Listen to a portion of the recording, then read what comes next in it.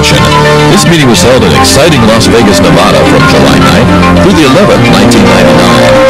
ESD to set up a firewall gateway.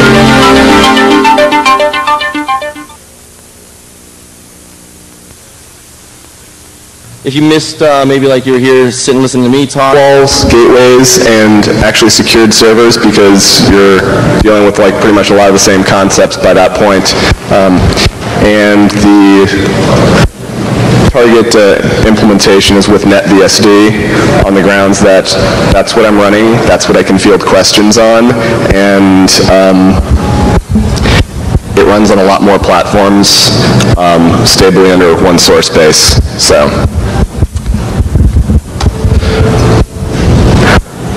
You can't see it, but it's a work in progress. Um,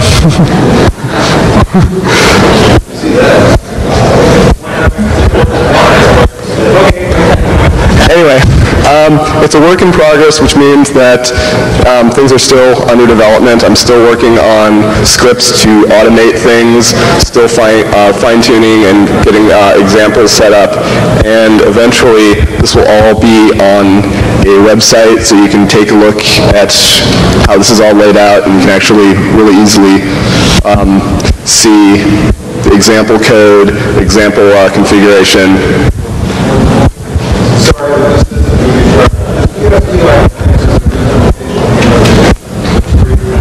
Yes, BSD is a, uh, I mean, it's, it's Berkeley-derived code.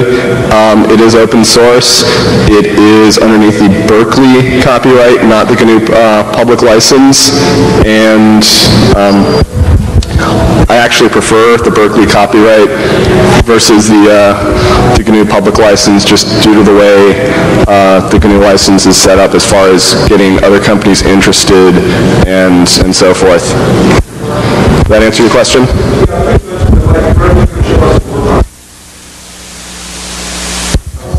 Um, theoretically, a lot of the concepts are the same. How you go, might go about implementing it may or may not be the same. I'm not, when I say it's, it's targeting NetBSD, that's because if you ask me about command line options and so forth, um, and you're running like Pico BSD or something, and Pico BSD doesn't have the dash QZZ option of some, uh, some command, I'm not going to know how to do the equivalent because I don't run Pico BSD. So that's why I've, that's why the slides actually say NetBSD because that's the platform that I actually did this on.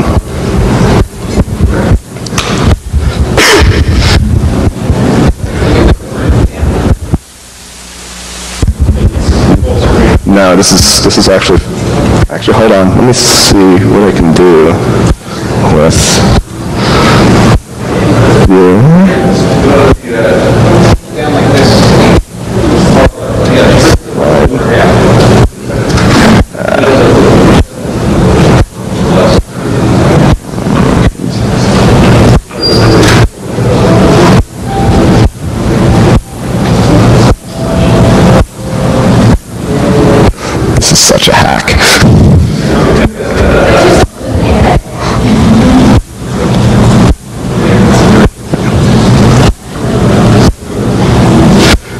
Okay, uh, firewall versus gateway versus secure server.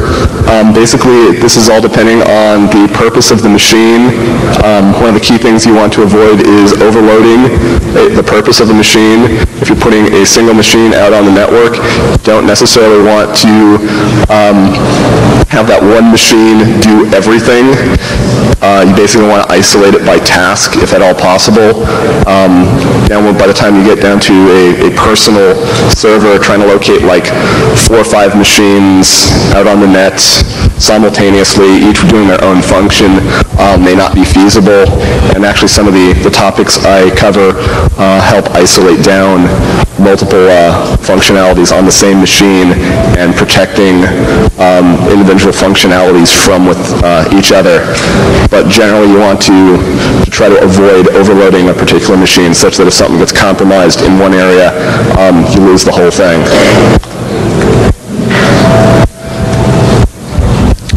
Um, As you're building these machines, yeah, you can use uh, NetBSD for a firewall. Um, If you're a corporate entity, you've got to look at various threat levels and the cost versus the threat. If you've got a lot of information, or you have a, need a lot of reputation capital um, that needs to be protected, you probably don't want to use any Unix-based um, firewall. You probably want to give Cisco a call and go out and buy a Pix. Um, basically because I mean, that's, that's all it does.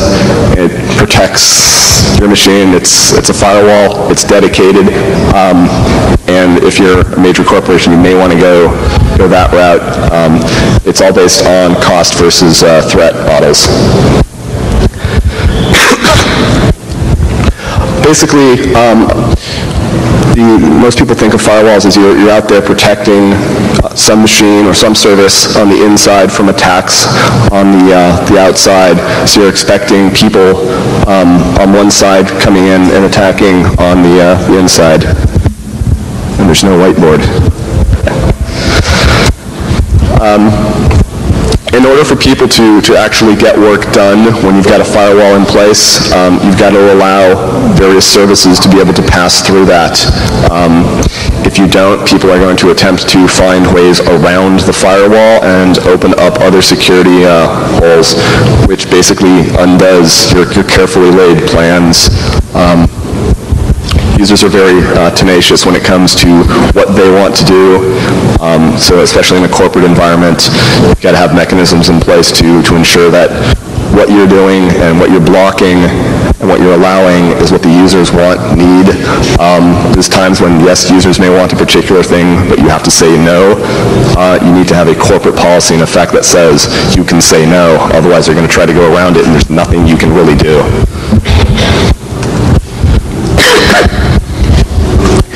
Basically, you've got this, this machine sitting in between two networks, and um, there's at times where you need to allow the inside to get out into the open uh, area, and sometimes you need the outside to have the ability to get in. Um, if you've got your personal machines firewalled off on, on the internet, it works really good when you're at home sitting right in front of it. Um, but when you go out um, and you're roaming, you've got your laptop and you've got your Ricochet or other uh, wireless or remote connectivity means, and you suddenly realize that you've left a phone number at home and it's sitting on your machine at home, you tend to really, really want to be able to log into your home machine and get at that number. Um, so there are mechanisms to allow you to get back into your machine behind the firewall securely. A lot of times, um, if you've got multiple machines on the inside, you may want to set up uh, proxy servers. Most common is, is the web uh, proxies. Uh, this also helps with, with caching and so forth. And a lot of times, um, most corporations will locate this on separate machines uh, to not bog down the actual firewall machine itself. As, as home users, you can like consolidate this into, into one machine. And um, especially in the case of home users, unless you've got nice fast cable modems, you may want that caching if you've got a lot of people on the inside hitting that, uh, that same, same site. Uh, there's a couple different levels that uh, we're going to, to talk about as far as dealing with uh, what you're firewalling.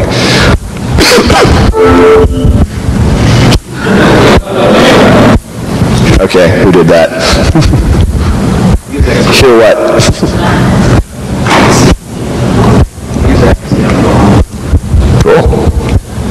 Um, there's some, some routing you can do to help you protect against firewalls. I mean, protect your, your internal network through the firewall. You can have your firewall routing different packets into different networks and ensuring that that traffic goes to its destination. Um, filters, you can start protecting things at the, uh, at the IP level, not allowing certain traffic to go to certain machines on the inside, but allowing the rest of the traffic to go to, um, to other machines. And this basically cuts down on, on the number of uh, attacks people can, can hit on those machines. And in the case of uh, small corporations, um, small offices, it will help prevent individual users from starting to run their own programs on their own machines that allow access in, into your network. Um, like common thing is for people to run like remote access servers on their machine, uh, not tell anyone in the IS department, just so they can, can log in from home. Uh, Same thing applies to, to people setting up modems on their, uh, their personal workstations to allow people to dial in that immediately bypasses any firewall you can put up, and uh, that's, that's really dangerous because it doesn't take much now for a user to set something like that up. It's a few mouse clicks under Windows, and suddenly anybody can dial into that workstation and have access to your, your internal network, and a firewall will do absolutely nothing to protect that. Can actually have TCP wrappers to, um, to watch what's going on and, and determine um, what's connecting to, to what service. Um, NetBSD actually has, has TCP, TCP wrappers built in, so it's something that comes with the, the OS. Um, as far as filtering, IP filtering is uh, built in and ships with the OS, so it's like right there, out of the box. You can start writing, uh, writing rule sets and so forth to actually, uh, to deal with that, and you don't have to worry about downloading additional software. It's all right on the box uh, from the beginning.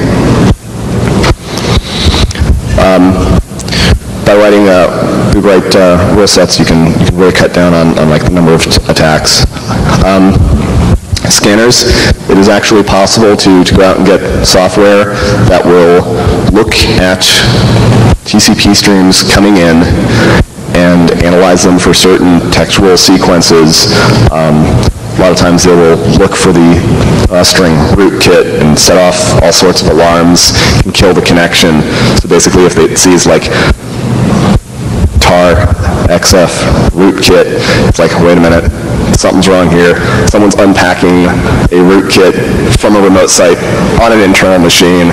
Um, kill off this connection, log the, uh, the attempt, and, and notify someone. And so you, you can act, there's actually software out there that will do real-time analysis of the streams going through uh, a machine.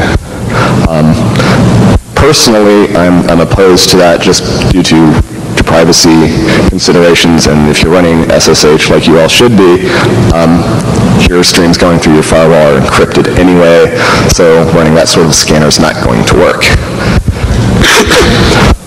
Logging is also very important because we can collect and look at and have available at our fingertips all the data that's going through the machine constantly, but if we don't do anything with it, if we don't do the correct things with it, it's absolutely useless. So um, key point is if you log to the machine itself, if it ever gets compromised, people can mess with the logs. So what you want to do is set up another machine internally highly locked down. That is basically a log server. The only thing it does is it takes um, syslog messages and writes them to disk. Um, I've actually seen seen cases where they've gone to the extreme since you know, syslog is UDP based and doesn't require an ACK. They've actually taken um, machines that uh, are plugged into the network via the AUI connectors, the old style connectors, and have cut off the transmit pin from the machine. So the machine could not possibly talk back to the network. So the only thing that can happen is that machine can receive UDP packets. There is no way to really break into a machine like that because the only thing you can fire at it is UDP. You're never going to get a TCP connection. You're never going to get a response back. And so you, you're really, really limiting what can be done. The worst case in that is someone can, can attempt to try to fill up the, uh, the log disk on that machine and then try more malicious attacks. Um, but disk space is very, very cheap. Uh, you can go out and get 10 plus gigs for under 200 bucks. Um, so trying to fill up that much space before someone notices is very, very difficult. But the, the main point is logging is very important. Um, routing. Um, a lot of sites will only need to set up uh, static tables as far as the, the routing of their internal network. Um, most people will only have one connection to the outside world, and so static tables are fine. Um, if you're on a larger corporate-style network, we may have multiple paths to, to the outside world. Maybe running dynamic uh, routing protocols, and one of the key things you got to watch for is um, various poisonings of your, your routing tables. Um, at home actually had a little bit of a problem in uh, Fremont uh, a few months back when a user broadcast a BGP packet um, out to, to the routers that basically told them to get to anywhere in the world, you go to that machine. Um, this pretty much shut down Fremont. Network address translation, NAT, um, is very common amongst uh, home users and small offices, basically turning a single IP address or a, a, small handful of IP addresses that were given to you by your service provider into a fairly large, large pool. Um, at, uh, in my bedroom, I've got probably eight or nine machines um, my network connection, they've given me one IP address. And it, it's working just fine for me. I've had no problems with it. Um, works great. And you can actually deal with uh, sets. And I'm so dead by the end of this.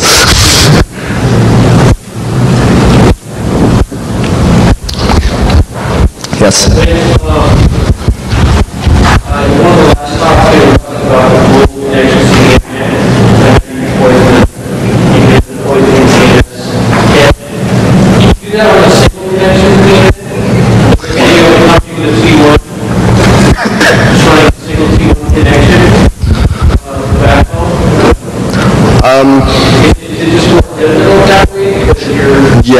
It, it's a little bit more difficult, but um, I mean, a lot of the, the cache poisonings I've seen, it's it's theoretically possible on, on a single single pipe pipe out. Um, actually, I probably was. I don't know what, what set of slides they actually used used earlier, but I've, I've worked with uh, both Pete and uh, and Punkus on, on presentations before, and I've, I've seen a lot of those slides, and um, it's yeah, it's possible with a single single pipe.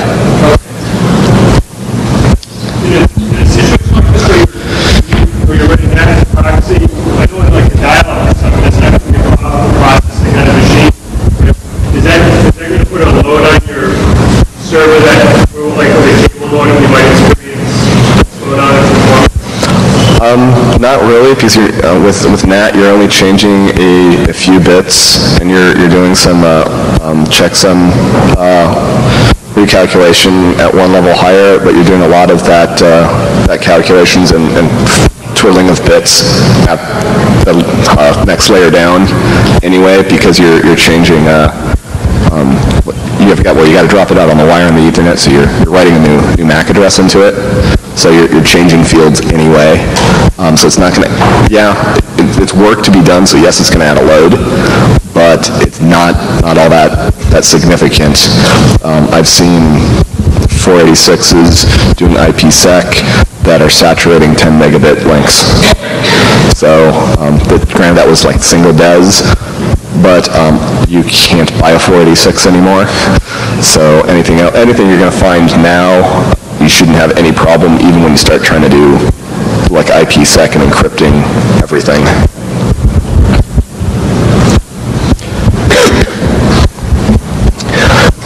IP filters, um, this is this is the core of, of what, you, what you need to do to, in order to protect a machine. Um, you've got to have a, a, really good set of, of filter rules to, to make sure that what's getting through is what you want to get through. Um, basically, if you've got a, a set of IP filter rules, the, the file that contains those rules, about half of those lines should be rules. The other half of those lines should be textual comments as to exactly what you're trying to accomplish with those rules. Um, I've seen, seen instances in corporations where people have, in, in different departments, have requested IS, oh, well, I need this port open. And IS has gone in and, and opened the port, and the, need for that port being open dies off after several months. IS is never notified that that port is no longer needed open, but IS didn't document who requested the port to be opened, why it's uh, open, so it gets left in there for basically all eternity until someone sits down, says, okay, fresh start, we're going to lock everything out and wait for people to complain. Um, this, this usually gets IS into a lot of hot water in, I'd say 99% of the companies, because a lot of times those security groups just don't have the political power within the organization to be able to stand up to marketing. The company is driven by marketing, and um, a lot of times they can, oh, well, we need this, and um, management will say, okay, well, you guys make this happen, allow them to do this, and there's not, a lot of companies just can't stand up to that. But your IP filter rules are, are really important in, in what, what you're protecting and how you protect it, so you really have to, to use those to, to lock down uh, your system. Basically, the, the rule of thumb is deny everything and then only allow th- through what you want to allow through. Um, a lot of rule sets out there that are attempting to like block certain ports. Um, if you know what you're doing, you can get away with uh, just blocking certain ports. Um, however, the, the safest bet is to deny everything, pass through what you want passed through. like I said, um, actually accidentally jumped ahead of uh, the slide there. Like I said, comment what is allowed, when, by whom, and any authority that, that said this has to happen. Um, an additional point is note that if that rule is ever to expire, that is, if we need this port open from now until next February, note that, that it can be closed off next February. That way you don't end up with this huge file with all sorts of ports open and nobody knows how long it's supposed to be opened. Can go back and, and deal with uh, cleaning up your rule sets. Um, you also want to make sure that when you're opening up a port, you find out what that port needs to go, what machine it needs to go to. So you don't want to open up a port to, on all the machines going through because that can be used to attack other machines that may not be running that server or maybe having other resources and other types of uh, servers running at that port address, which can then uh, be attacked because one group needed a port open for only their servers, but it was opened up for everybody's. TCP wrappers um, basically allow you to deal with uh, monitoring who's connecting to what and dealing with services, um, and, and basically give you a little another layer of, of denying control. This is at the, uh, the next layer up. Basically, you're trying to establish a connection rather than just looking at the, uh, the raw packets. Um, this is, gives you better control over like application-based based security and, and wording things. Um, whether you write, write rule sets and deal with rules at a TCP wrapper layer, just logging what's happening versus blocking ports, it's up to your particular implementation and, and what you feel more comfortable with.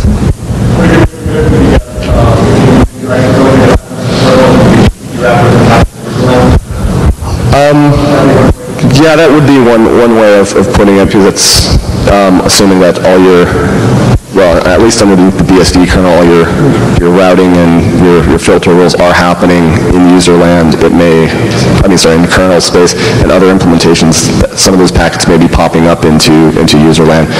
If you know you can, you can deny connections, um, you want to like get them, those packets out of the mix as soon as possible. It's less work for your, um, your higher up layers if you can just eliminate them as soon as you know you can eliminate them.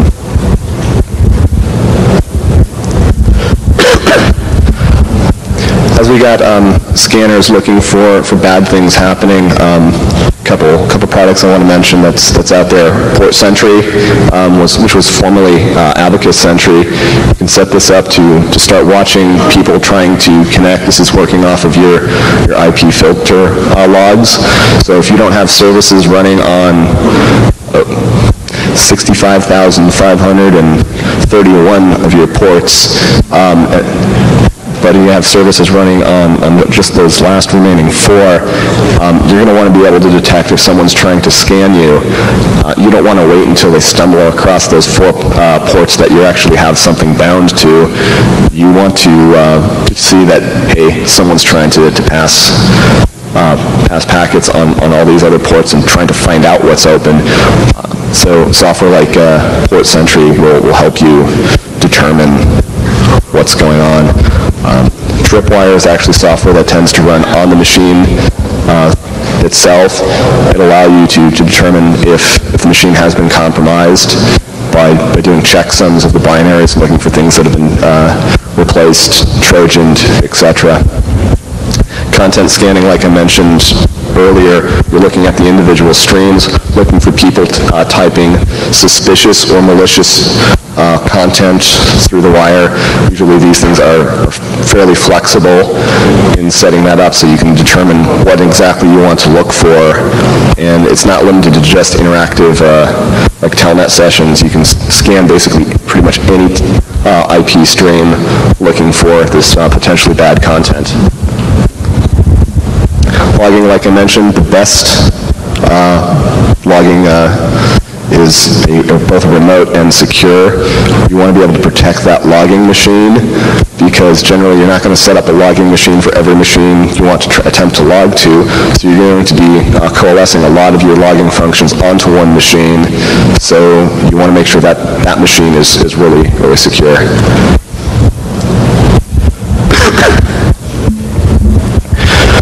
I've got a machine called SD, sorry, go ahead.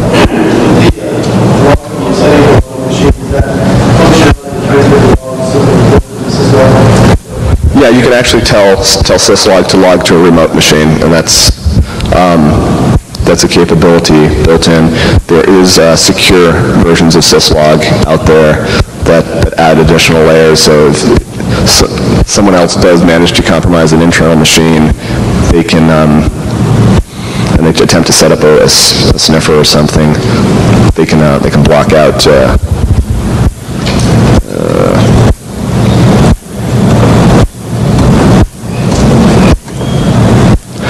we go. Looked a little strange to be jumping that far ahead. Um, providing services. So you've got machines out there that need to do something. Aside from just having your, your firewall to keep protecting your network, you do need to have machines that need to talk to the internet uh, as a whole. Um, web servers, mail servers, FTP servers, etc. Um, So in order for, for any site to be useful, you've got to be able to, to offer services, and you've got to do something to be able to protect them. Um, With web, it's basically broken down into, into two categories. The web service itself, where um, people browsing the web will connect and, and get, get pages down, and the other half of that is content management.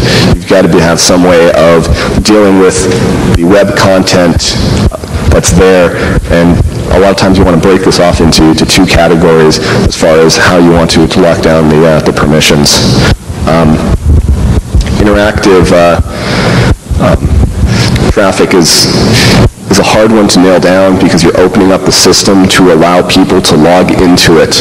And one of the reasons you may want to do this is for, for content uh, management of um, like a web server or an FTP server so that people can update it and keep it, keep it fresh, deal with uh, content and other uh, logs there. And um, the other thing that people may need to have a direct account on the machine is for then hopping out either from inside the firewall onto the firewall and then out to the outside world, or in some instances, you may need to allow people in through the firewall. So being able to access resources both on the outside and on the inside of the, uh, the firewall, may need some sort of an interactive uh, capability.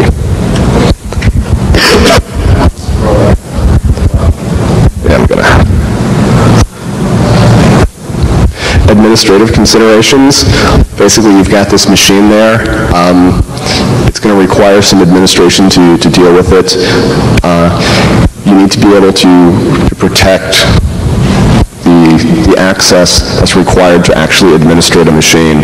Uh, Since administration requires additional privileges, you've got to be a lot more careful about how people who are doing administration of the machine are going to do it.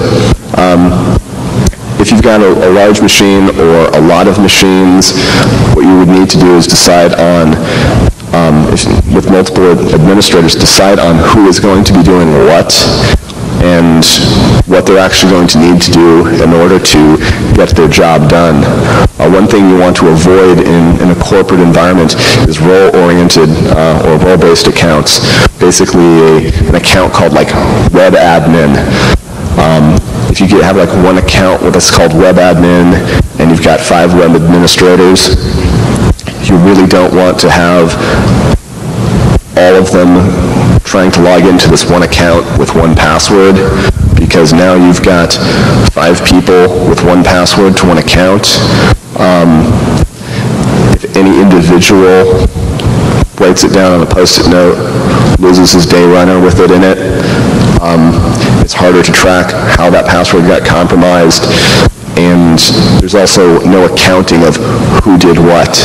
Um, If someone decides they wanted to reorganize the entire, entire website, there's no, no trail saying, oh, well, this person came in as administrator, changed all these directories around. Um, If you've got, um,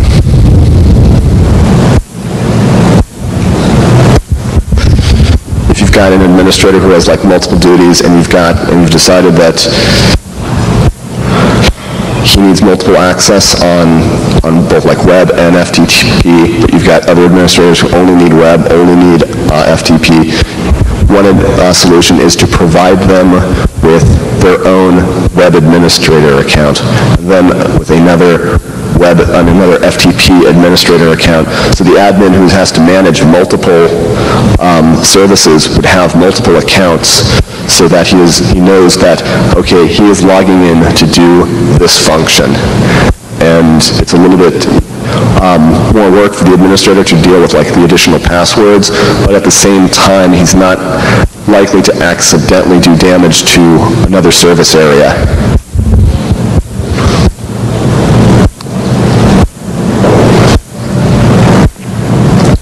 So once you actually have all these accounts, one of the things that you're going to want to do is um, reduce the privileges down to what is absolutely needed to get the job done.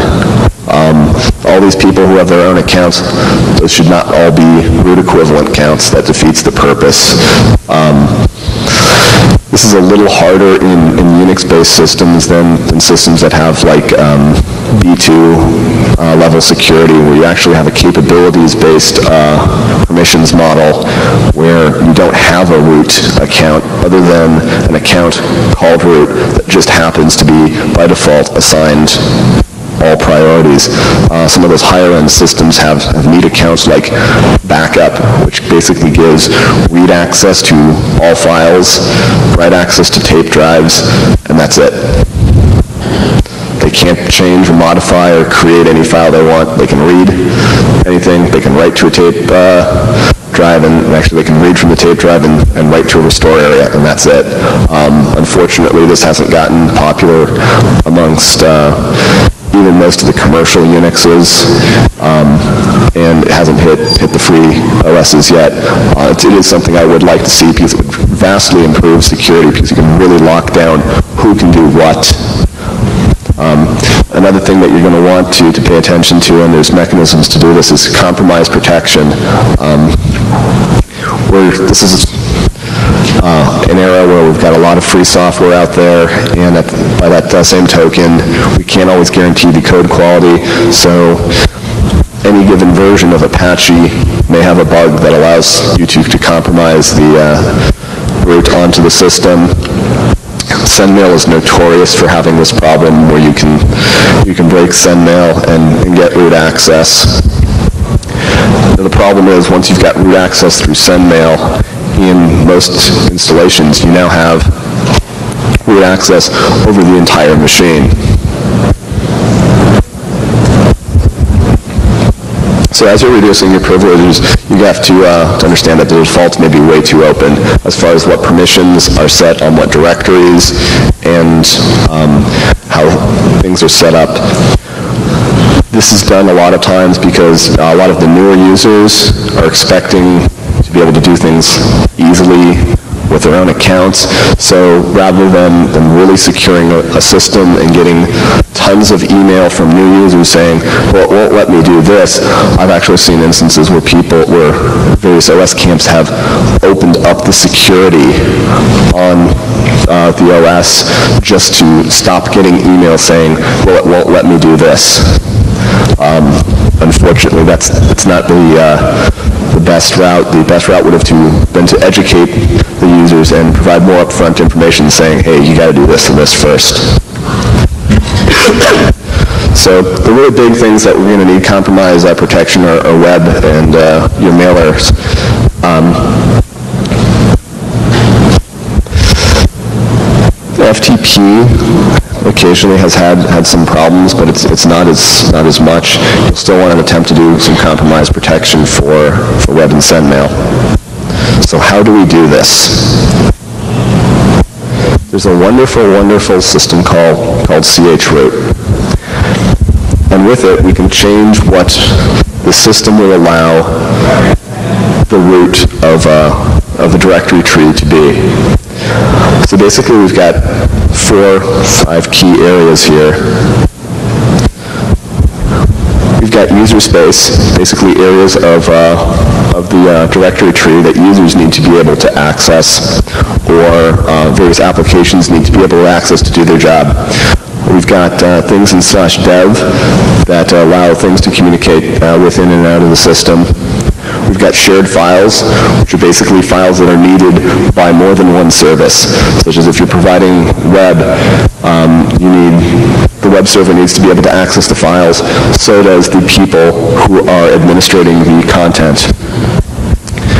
Um, VAR is needed in a lot of uh, instances because like You've got uh, your mailers who are uh, pulling mail in. They want to be able to, to write to, to VAR. And at the same time, you've got people who are reading mail who also want to, to see the same VAR spool that the mailer sees so they can actually pick up their mail. So a neat way of getting users into uh, into these CH-rooted cages is by starting up SSH in its own CH-rooted area. This will allow any user who logs in via that particular SSH daemon to end up in the CH-rooted cage, um, which is then very carefully built to only put into that cage what is necessary for them to do what they need to do.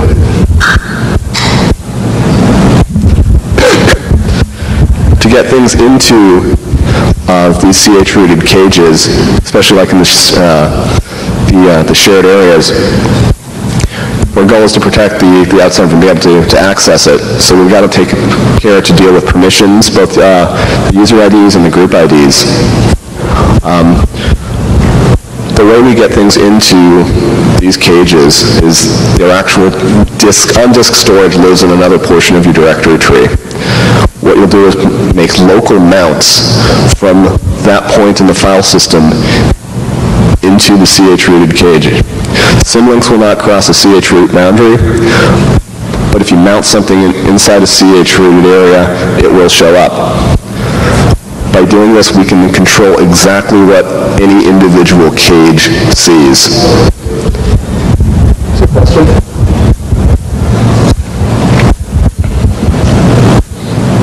And as we're mounting, oh, this is so not going to work. Um, as we're mounting uh, the, these files systems into these CH-rooted cages, we can take advantage of a lot of mount uh, options, um, such as not being able to exec, not being able to um, make device nodes, not being able to run set UID binaries, uh, not being able to, to allow core dumps, so forth. Basically all your, your mount options so you can really lock down what is possible. Um, in binary, if you're mounting your, your binary tree for users to execute certain, uh, certain programs, you may want to mount that um, read-only. so that if the, the cage does get compromised, they can't change any of the binaries.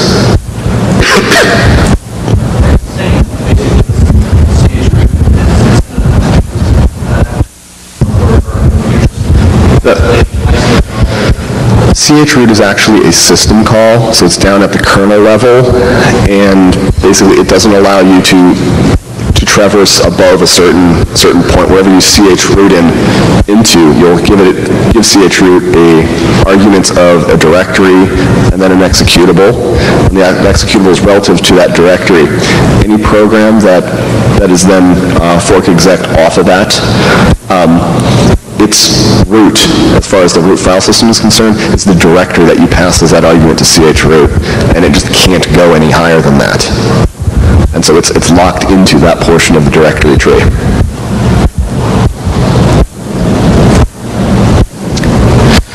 So now we get to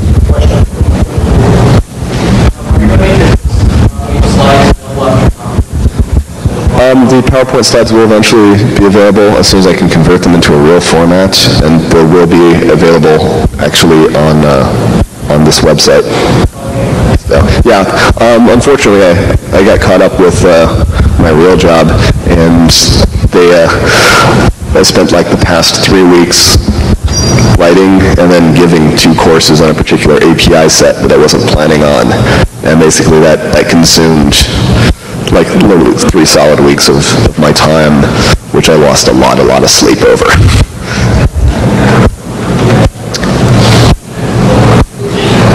SDF1. Um, any anime uh, fans out there may recognize uh, SDF1. Um, so I, I actually have a machine named SDF1 that is sitting out um, on the net, and on it I've got right now um, a web server that is managing uh, three domains.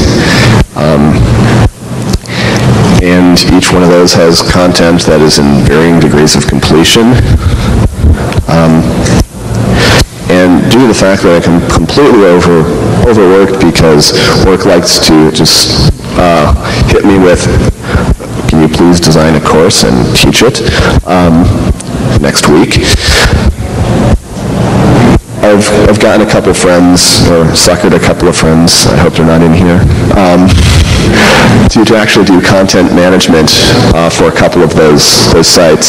So I then realized, okay, I've got to let these guys be able to log into this machine um, to be able to, to edit these web pages. My original plan was to create all the content on my machine at home and have a really simple uh, script that allowed me to SSH in with uh, RSA authenticated keys. So it's basically doing mutual authentication. Push the uh, push a new tar file of the entire web content up, and a script would run that moved the old content out of the way, dumped the new content in, and everything was happy with no user intervention, no user logging in. Um, really limited ability. Unfortunately, I don't have that type of time, so I had to let them log in. Course, they do not want to sit there the entire time. Can I make this? They do not want to sit there the, the entire time and use VI to create the content. They want to be able to do the create this content um, in the comfort of their own home. So I had to provide them a way with getting the content up to the machine and they're unfortunately all on Windows machines, which doesn't have a nice, neat, uh, secure copy uh, interface installed. So I had to provide them with FTP. And the last thing I wanted was them typing in their passwords to FTP, so okay, anonymous FTP only. And this was done to allow them to do content management, so the only writable areas are some hidden directories under incoming. So in order to accomplish all of this, I set up uh, several CH-rooted cages, one for the web, uh, one for users, one for FTP. And basically, inside the, the users area, when they SSH in, they SSH in, they end up in a CH-rooted uh, cage. And mounted in from another portion of the tree is slash HTML, which is the web content. This exists on another portion of the disk. It's mounted into to that area so they can go ahead and access it.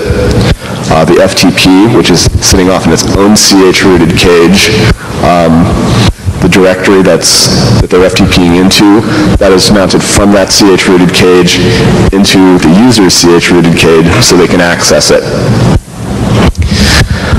Since I've got to administrate the machine, I've got another SSH running at another port, so that will, will let me log in and actually get to the real root, so I can really log in and, and deal with the administration of all of this.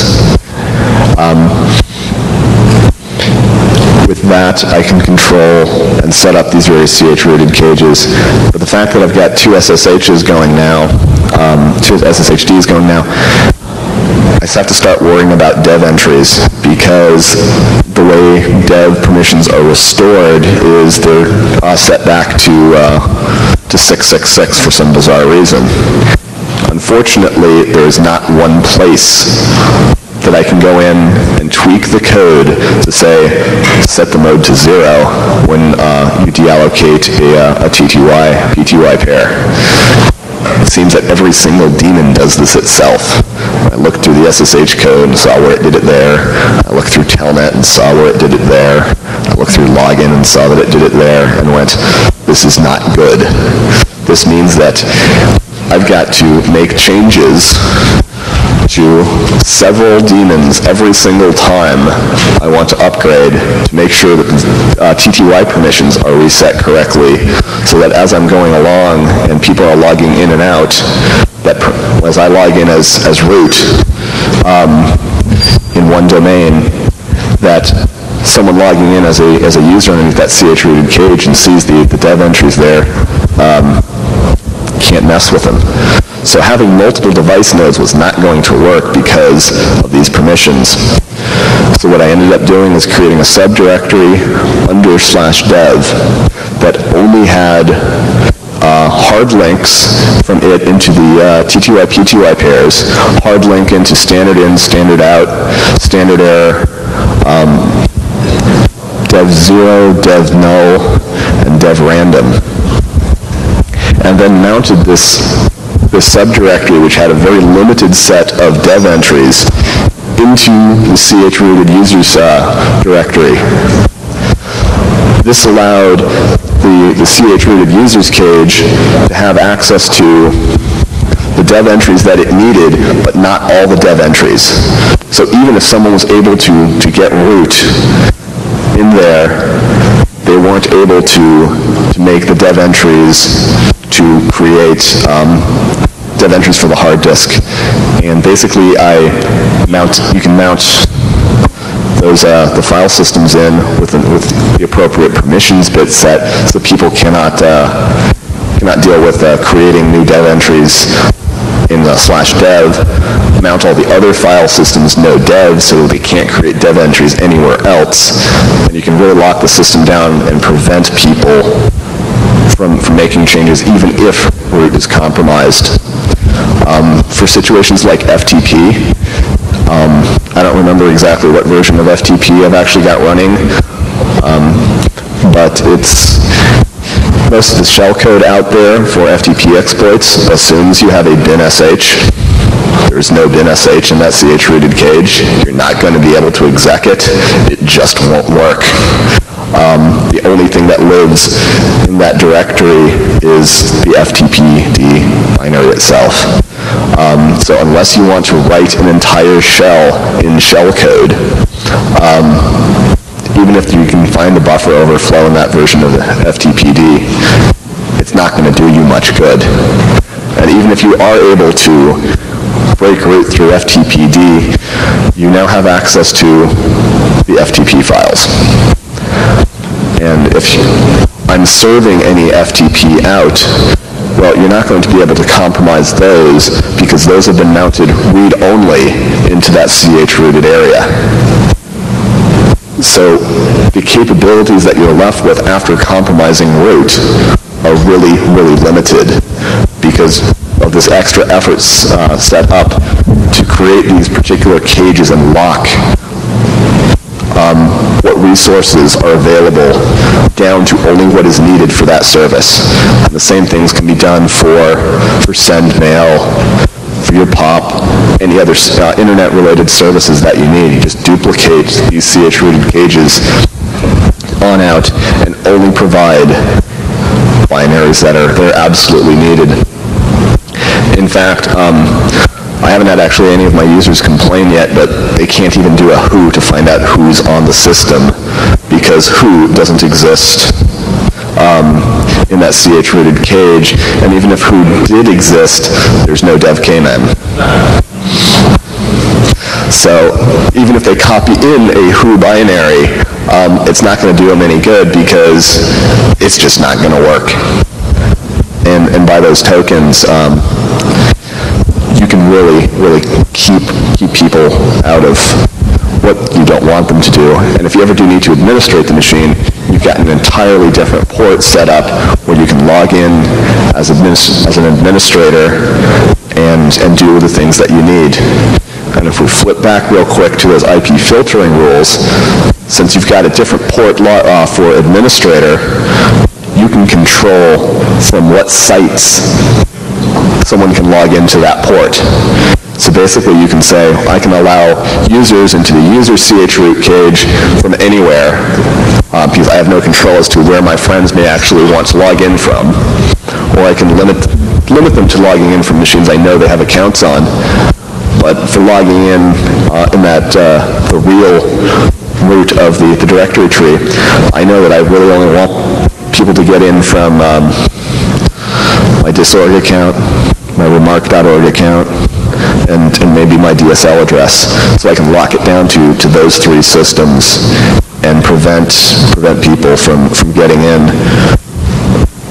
Or I can just leave it as, well, if I want to administrate the machine, use console and just not allow any network access to the root of the tree, but at the same time we still have people able to log in to do work.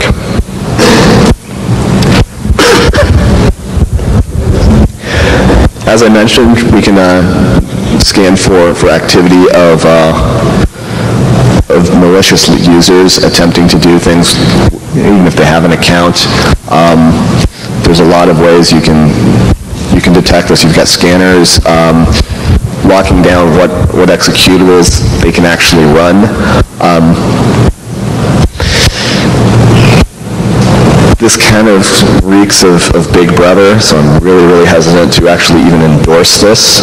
Um, if you're working for a, a corporation that has a, a very well-written security policy saying this is what you're allowed to do, this is what you're not allowed to do, and if you do something you're not allowed to do, you're fired, um, you might be able to be, have a better chance of getting away of scanning uh, the interactive traffic to, to find out what people are doing and logging, shutting down connections as appropriate.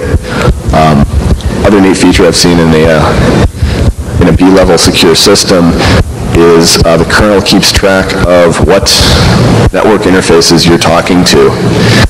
And if you attempt to, to bind to more than one network interface, it can detect this and kill off that process and then log who, what, and when attempted this violation. So basically, if you've got a system that's a firewall and basically you're authorized to log into that uh, internally to manage some content, um, you're coming in from an internal address, you can go in and say, okay, I can log in, I can do my work, but you wouldn't be able to set up a daemon that listens on both the internal and the external to allow it to pass any sort of traffic. Always have to do this, if you're trying to, to move any content in and out, you'd have to do a, a, a sort of a bounce. Move the content onto the machine, then move the content uh, off, and you've got better control over what's going on by, by adding that additional restriction. Um, other things that may want, that could be uh, done in the future that just aren't really set up uh, smoothly right now is additional login restrictions where you're controlling who can log in from where, when. Um, basically uh, time-based, location-based logging in um, without filtering uh, at the, uh, the IP level. Basically, you say, okay, it's okay for, for Joe to log in from home after 5, but before 9 a.m., no problem, he works from home at that time, it's cool, but we don't want to let him log in remotely from um, 9 to 5. We want him to be here in the office doing his job. So that's, that's an additional uh, direction for the future. Any questions?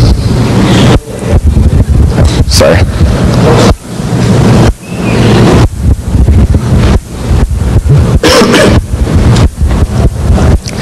So, back there.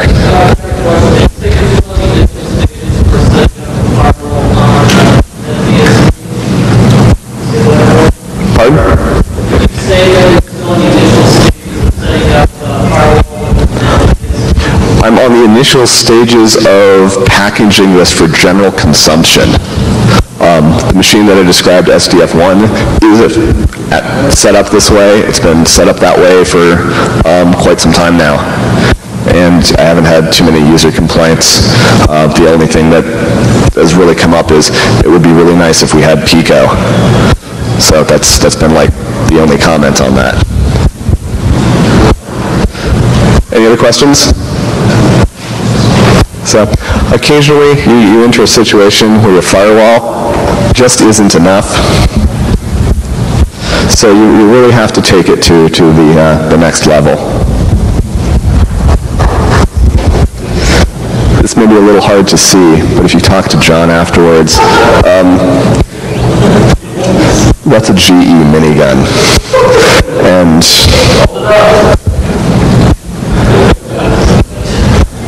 that's a really cool drawing. Probably be blown back a bit if you actually, if you actually fired that, but I'd like to see it. I'd like to see the malicious user he was targeting too. So, if you're interested in the shirt, back to John. Any other questions? How would you compare previous DLP, NetBSD, Linux, whatever? I would compare it as uh, Judaism, Hinduism, Christianity. It's, it's, it's, I mean, it it gets down to, to a religious war. Um, I've had lots of luck with, uh, with NetBSD. Um, I've been running it since I probably 93, 94. I probably still have 0.8 install floppies floating around, which is one of the first publicly consumable versions. Um, that was well before the, the OpenBSD split. Um, NetBSD runs on currently 16 different hardware architectures, so pretty much it's it's almost, it's got a 32-bit CPU or greater and an MMU, you've got a good chance of it running or getting it running without too, too much work. Um, as far as FreeBSD, their, their goal used to be the best optimized uh, free BSD, free version of a, of a BSD for the Intel platform. Um, Linux, unfortunately, it's just, it's just way too, too diversified. Some of its strengths have really contributed to, to some of its weaknesses. Um, yes, it's got a lot of, lot of drivers available for it because you've got a lot of people writing drivers for it. Unfortunately, you do have a lot of people dri- writing drivers for it, and so the code quality may not be the, uh, the same uh, across the board. Also, pardon? From a firewall standpoint, um, there's a lot of driver sharing between uh, like FreeBSD and, and NetBSD, um, and then OpenBSD is, is in there looking at the same code as well. Um, they're all BSD stack derived. Um, I don't know what Linux did to the BSD code when they moved it into, into their kernel, but they've been having a lot of problems with it. Um, I know um, NFR was having, having issues with, uh, with running on, on Linux because the stack just wasn't up to it going at full speed. So Linux may not be the best option uh, in light of that. Um, I haven't had a chance to, to actually test that out, um, but that's something I have heard, that there were issues with the, the Linux stack, so um, each is his own, but that, that may be a potential issue. Sort of answer your question? Anybody else? Questions, comments, more beer?